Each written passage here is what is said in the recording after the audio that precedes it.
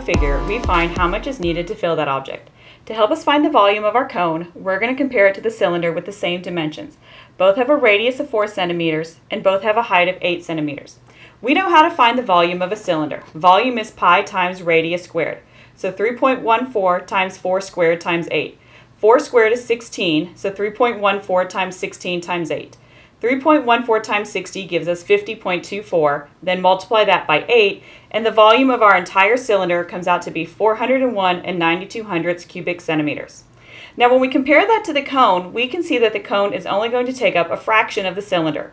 The question is, what fraction of the cylinder's volume is it going to take up? We've filled our cone once and we're going to pour it into the cylinder. We can see the volume of our cone fills only a small portion of the cylinder. We'll fill our cone a second time and go ahead and pour that into our cylinder. We can see there's still some space left. We'll fill our cone a third time and pour it into our cylinder also. We can see that the third pour from our cone pretty much fills the entire volume of our cylinder. Since it took us three pours from the cone to fill the cylinder, that tells us the volume of the cylinder is three times greater than the volume of the cone.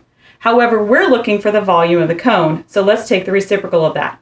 The volume of the cone is going to be one third the volume of the cylinder. Well, we know the volume of the cylinder is 401 and 92 hundredths cubic centimeters.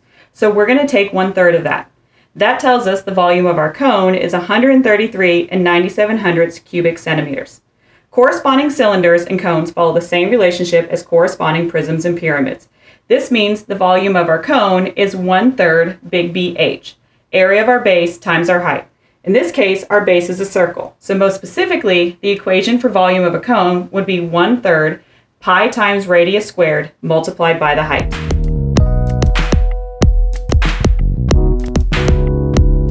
Use our equation to go ahead and find the volume of our cone. We found the volume of the cone is one-third the volume of the corresponding cylinder with the same dimensions. Our volume is one-third times pi times radius squared times height. Well, on our cone, they told us diameter. So first thing we have to do is find the radius. Radius is always half the diameter. Here, we're going to need to take 10 divided by 2. 10 divided by 2 is 5, so on this cone, our radius is 5 centimeters. Now we can substitute that into our equation. So volume is going to be one-third times 3.14 times times 5 squared for our radius times 15 for the height of our cone. Order of operations tells that we need to do exponents first. So we have 1 third times 3.14 times 25 times 15. Now we know we can multiply in any order, but in this case, instead of going left to right, we're going to do the 3.14 times 25 times 15 first. In other words, we're going to find that corresponding cylinder part first and then pick up the 1 third. So 3.14 times 25 times 15 comes out to be 1,100 177 and 5 tenths. That would be the volume of the entire cylinder. So the cone is going to be one third of that. So here we can multiply by one third, and when we do, that comes out to be 392 and 5 tenths. This is labeled in centimeters, so this is also labeled in centimeters to the third power. So volume of this cone comes out to be 392 and 5 tenths cubic centimeters.